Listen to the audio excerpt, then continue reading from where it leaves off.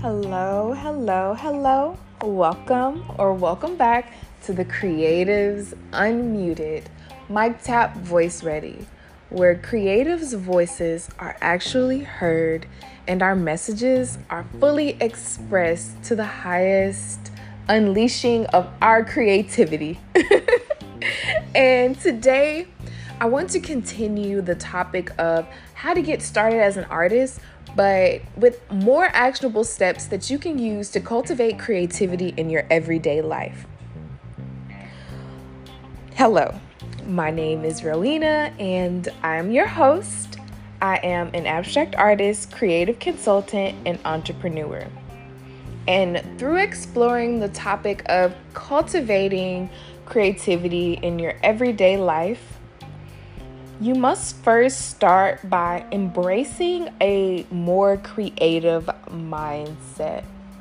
You're able to unlock the power of adapting creativity into your life because the way you do one thing in life is the way you do it in other areas of your life. So, when you begin to cultivate this creative mindset and creative habits, this will transfer into the way you do your your job or whatever you do for your career. You'll have that creative spark and be able to solve problems in the drop of a dime.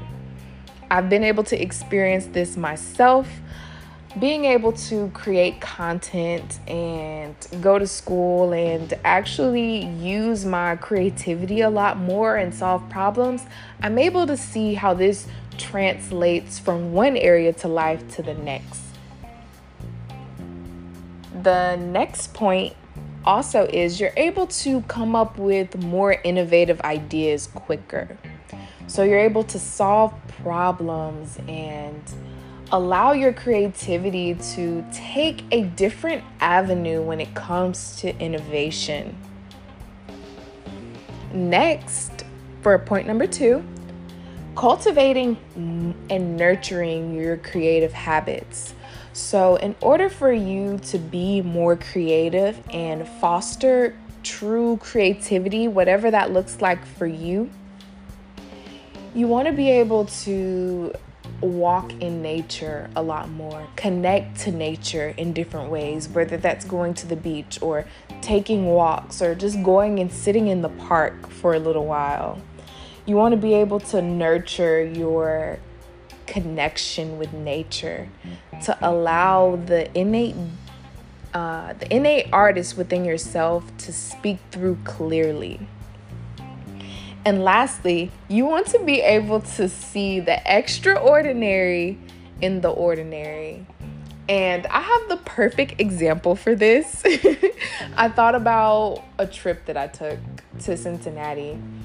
And I was just walking around marveled by life because they have so many beautiful murals throughout the city and just so much historical architecture and just so much history to be stored. And it was just a new novel of life that I was able to tap into. And I stopped and took so many pictures. I took pictures here, took pictures there. I even stopped at this revolving door that was just so beautiful. And uh, the group that I was with, I was like, oh my gosh, look at this door. And and everyone just looked like what in the world is going on? And when you're able to tap into that innate what is it? That innate creativity of life and find the extraordinary in the ex like in the ordinary. Just a simple door a revolving door that has been there for years that people probably pass by and just think of it as a door. And when i saw it i was like whoa what a relic. What a piece of history that tells such an intricate story from the top of the door all the way to the bottom.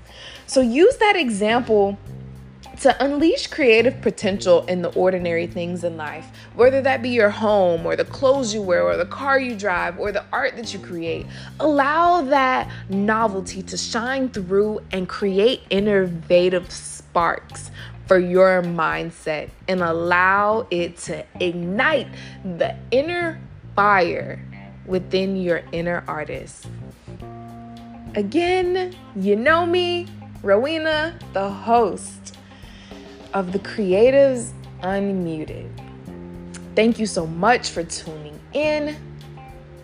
I will see you in the next one. I thank you, I love you, and I bless you.